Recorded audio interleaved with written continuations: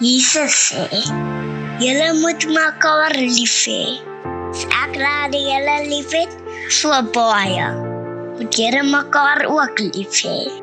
As julle mekaar liefhet, sal almal weet dat julle my disippels is. Amen. Goeiedag, ek is Paul Barnard. Baie welkom by Helderberg Gemeente se digitale diens. Ons is besig met ons 7 weke van geestelike groei en hierdie week gaan dit oor drome. Dit is 'n wonderlike plek om stil te staan en daarom sit ek sommer vandag hier buitekant waar die watertjies loop en waar dit rustig is, my voete in die sand. En ek droom oor die lewe. As ons so begin, kom ons bid saam.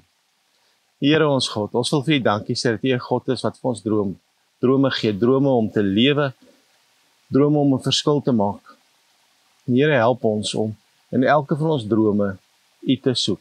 Ons wil U loof en ons wil U prys. Amen. Ek wil soms net begin uitdag. Dink 'n bietjie aan aan wat was jou eerste droom? Wat wou jy word? Wat was jou groot droom in die lewe? Daai kinderdroom. Vir party was dit om 'n brandweerman te word. Vir ander was dit om 'n verkeerskonstabel te word. Vir ander was dit om 'n dokter te word. Wat was jou droom? My droom was om Tarzan te wees. Ek het 'n fliek gaan kyk saam met my maale by die inry en my pa was baie beïndruk met Tarzan. Ek dink nog dit was Johnny Weissmuller of iets van die aard. En die ou het so interessante broek aan gehad wat so geskeur was en dan het hy deur die bome geswing en hy so Tarzan geskree en hy was sterk en ag dit was fantasties. En so het ek by die huis in die bome geswing en te kere gegaan en toe op 'n stadium toe my klein sussie wat 5 jaar jonger as ek is gebore word of net 'n rukkie daarna word sy gedoop en ek kry 'n kerkbroek. En ehm um, die Sondag na die doop, toe's ek 5, toe vat ek my kerkbroek want hy lyk toe vir dieselfde kleur as Stasen se broek. En ek sny hom toe so Stasen se broek moet lyk. En ek is daar in die bome en ek is opgewonde en ek swing, ek is Stasen. Toe my ma by die huis kom, toe sy verskriklik ontstel. Eers en toe gee sy my 'n reuse pak sla. Toe my pa by die huis kom, toe word die storie vir hom vertel. Toe kry ek my tweede pak sla en net daar het my droom geduik. Het ek dit nie meer kans gesien om Tarzan te wees nie want ek het nie geweet Tarzan kry soveel pakslaan in die lewe nie. En dis wat baie keer met ons drome gebeur. Ons het hierdie mooi drome, ons het hierdie ideale waar ons op pad is. En dan slaan die werklikheid. En as die werklikheid ons slaan, dan maak dit dat ons mismoedig word en dat ons volgende keer 'n bietjie kleiner droom. 'n bietjie kleiner droom, 'n bietjie kleiner droom tot op so 'n punt kom waar ons drome amper ai tog.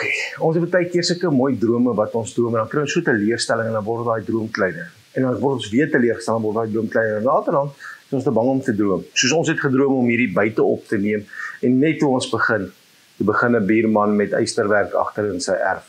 En ehm um, dit het gemaak dat ons maar moet inkom. En so gebeur dit dat ons drome baie keer nie meer drome word nie, maar 'n negatiewe ingesteldheid op dit wat rondom ons gebeur. Iemand het eendag gesê don't don't downgrade your dream to match your reality. Upgrade your faith to match your destiny om op 'n plek te kom waar ek weer glo waar ek droom wat God vir my wil. En vandag gaan ons een van die moeilikste tekste in die Bybel lees. Ons gaan lees uit Jesaja 65 vanaf vers 13. So lees hierdie gedeelte saam en dan dink jy, kan ek werklik glo wat hier staan? Maak dit vir my sin. Ons lees daarvan af vers 13. Daarom so sê die Here my God, sal my dienaars genoeg hê om te eet, maar julle sal honger ly. Dan praat hy met die ouens wat nie glo nie. My dienaar sal genoeg hê om te drink, maar julle sal dors ly. My dienaar sal bly wees, maar julle sal teleurgestel staan. My dienaar sal jubel omdat dit met julle omdat dit met hulle goed gaan, maar julle sal skreeu van die pyn. Julle sal huil van hartseer. Die wat ek uitverkies het, sal ek sal julle naam gebruik om mense mee te vervloek. Die Here my God sal julle ombring, maar aan die wat hom dien, gee hy 'n nuwe toekoms. En nou is dit iets van hierdie droom wat Jesaja by die Here kry. Elkeen in die land wat hom voorspoed bid sal dit doen in die naam van ons God wat getrou is. En elkeen in wat 'n eed aflê sal aflê in die naam van God wat getrou is. Die swaarkheid van vroeër sal vergeet wees. Ek laat dit verdwyn. Ek gaan 'n nuwe hemel en 'n nuwe aarde skep. Aan die wat nou is, sal daar nie meer gedink word nie. Hulle sal nie onthou word nie. Wees bly en jubel sonder ophou oor wat ek gaan skep. Ek gaan 'n Jerusalem skep wat vol blydskap is sy inwoners sal vreugde hê. Ek sal jubel oor Jerusalem. Ek sal bly wees oor my volk. Daar sal in Jerusalem nie meer iemand gehoor word wat huil of om hulp roep nie. Daar sal geen kind sterf wat maar 'n paar dae oud is nie en geen gryshart wat nie sy jare sal uitleef nie. As iemand op 'n 100 jarige leeftyd sterf, sal dit beskou word asof hy jonk gesterf het. As hy nie 100 word nie, sal hy beskou word as iemand wat vervloek is. Dan sal mense huis huise bou en self daarin woon. Hulle sal wingerde plant en self die druiwe eet. Hulle sal nie huise bou waarin ander woon nie. Hulle sal nie wingerde plant waarvan die ander die druiwe eet nie. My volk sal so oud word soos 'n boom. Die wat ek uitverkies het, sal self die vrug van hulle handewerk geniet. Hulle sal hulle nie te vergeefs vermoei nie. Hulle sal nie kinders hê vir wie daar rampe wag nie. Want hulle sal 'n volk wees wat deur die Here geseën word. Hulle en hulle afstammelinge. Voor hulle nog roep, sal ek hulle antwoord. Terwyl hulle nog praat, sal ek hulle gebed verhoor. Die wolf en die lam sal saamwy, die leeu sal strooi vreet soos 'n bees. En stof sal die kos van die slang wees. Op my heiligste berg sal niks verkeerd gedoen word nie, niks vernietig word nie, sê die Here. Nou om iets te verstaan van hierdie droom, droom moet ons verstaan wanneer is dit geskryf? Wat is die agtergrond hier rondom? Want die Israeliete was eers in ballingskap gewees en na ballingskap hulle in Babilonie gesit het, hulle was daar by die riviere van Babilonie gesit en onthou ons nog die liedjie van Adam and by the rivers of Babylon. Dit is eintlik 'n psalm. En daarso roep die die volk uit en hulle sê Here help ons mevrou se nou hierdie droom dat as hulle uit ballingskap uitkom, dan gaan hulle terugkom in hulle land en dit gaan fantasties wees. Hulle gaan weer floreer, dit gaan met hulle goed gaan. En dan tref die werklikheid hulle wanneer hulle vrygelaat word want hulle kom in hulle land en destyds toe hulle weggevoer is, is alles afgebrand. Hulle landerye is afgebrand, hulle huise is padgeslaan, hulle vee is gesteel. Die mense wat agtergebly is, is doodgemaak. En in plaas daarvan dat hulle terugkom na hierdie droom toe waar hulle nou vrygelaat is en met hulle goed gaan gaan en met hulle slegter as wat dit gegaan het in ballingskap. Want hulle mense gaan dood van die hongerte. Daar's siekte. Daar's niks om te wees nie. En nou moet hulle van voor af begin. En dan nou roep hulle uit en dan is daar weer 'n droom wat kom. 'n droom na die ballingskap. Maar hierdie droom is dan die droom wat God vir Jesaja gee. As ons hierdie droom na hierdie droom kyk, dan sê ons dis 'n onrealistiese droom. Dat dit met die gelowiges goed sal gaan en met die ander sleg sal gaan. Dat dit net die beste sal wees, jou kinders nie sal swaar kry nie. Dat jy nie slaaf slaaf sal wees of vir iemand anders te iets bou nie. Dat jy nie iemand sal wees wat vir iemand anders te werk sou kan ryk word nie, maar dat jy in 'n posisie sal wees waar jy die vrug sal pluk van jou nuwe werk. Waar jou familie sal goed gaan. Jy sal oud word. Die maklike uitweg is om te sê ja nee, maar hierdie gaan oor eendag as die die nuwe hemel en die nuwe aarde kom met verwysing na die wederkoms. Hierdie droom wat God vir sy volk gee. Is nie 'n droom vir die wederkoms nie.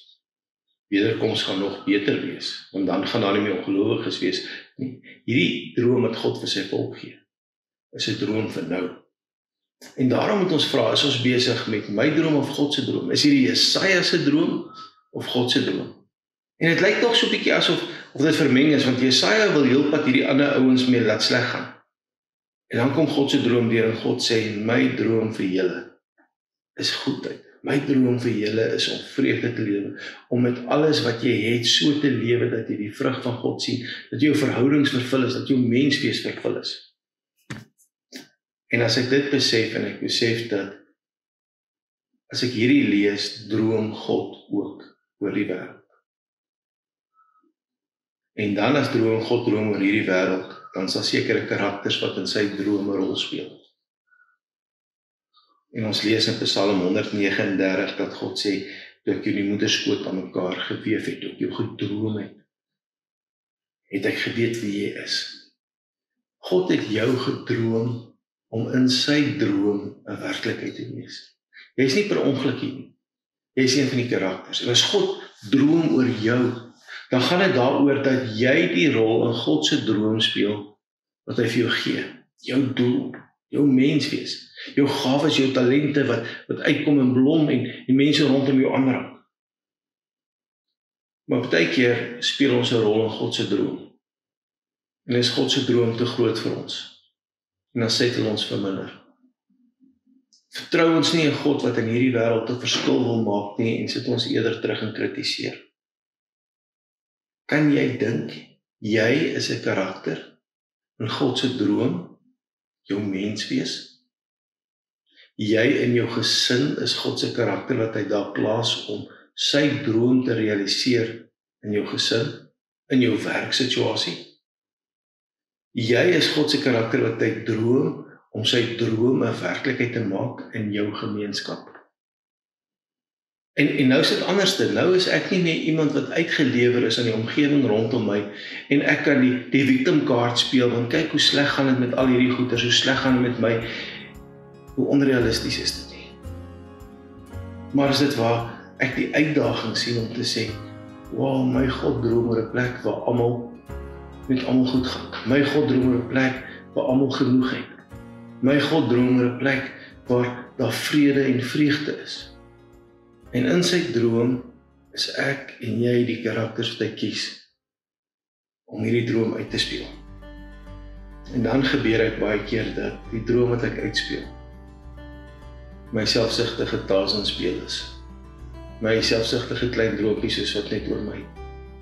En hoe meer ek met my drome besig is, hoe meer loop ek my teen mure vas. Hoe meer kom ek op plekke waar my eie drome teleurstel. En dan sit ek te bang om God se droom te droom kan jy op hierdie stadium vrede daarmee maak dat jy deel is van God se droom vir die wêreld. Dan is die wonderlike voorreg om te besef jy kan leef met 'n verwagting. Jy is deel van hierdie gemeenskap van gelowiges omdat God vir jou vra om deel te wees van sy droom, om sy droom werklikheid te maak in jou omgewing.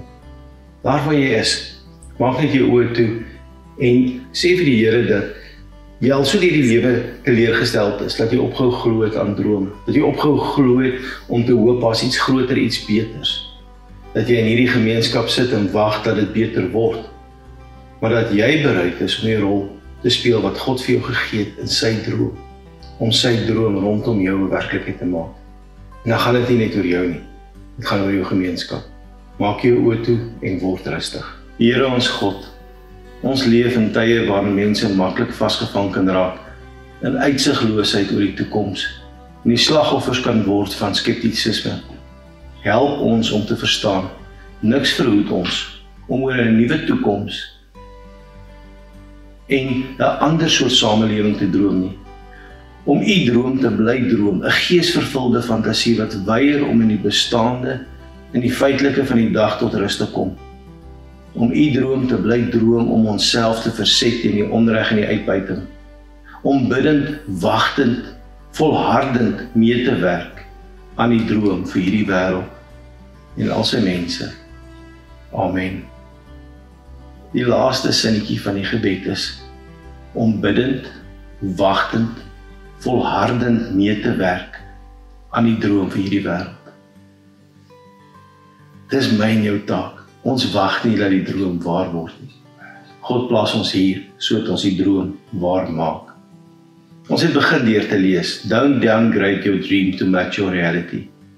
Upgrade your faith to match your destiny. Mag jou geloof so wees dat God se roeping vir jou 'n werklikheid kan word.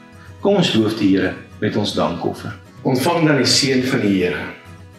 Mag die genade van God die Vader, God die Seun en God die Heilige Gees by jou wees. Mag jy droom God se drome vir hierdie wêreld. Mag jy die karakter wees in God se droom waarmee jy die verskil in hierdie wêreld maak. Amen.